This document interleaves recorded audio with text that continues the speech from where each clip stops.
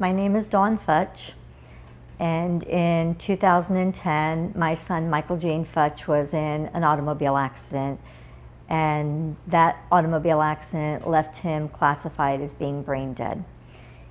We, as a family, decided that we were going to allow Michael to be an organ donor. He was on his driver's license, and so with that, we alerted the hospital that we were going to let Michael go ahead and um, be able to give the gift of life. With being an organ donor, he was able to save five lives. He was able to give sight to two, and he was also able to help over 50 with skin and tissue. It's so important that people understand how important organ donation is. One person is able to save up to eight lives and enhance the lives of so many others. I cannot express enough how important organ donation is. It changes lives.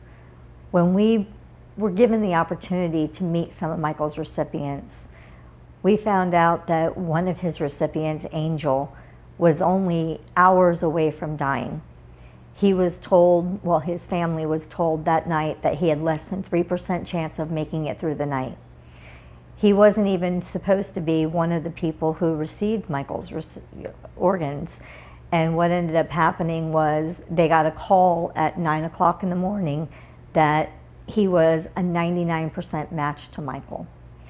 So he now has a wonderful chance of being able to be a father, a husband, and watch his children grow.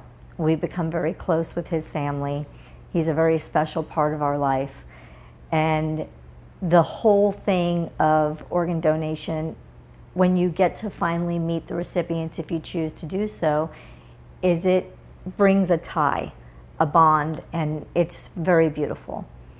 So I just, you know, if, if you're contemplating whether or not to allow your loved one, you know, think about what they would want. Think about if they would want to be able to give somebody else that chance of having a second chance because it is the greatest, greatest gift that anybody can ever give is that gift of life.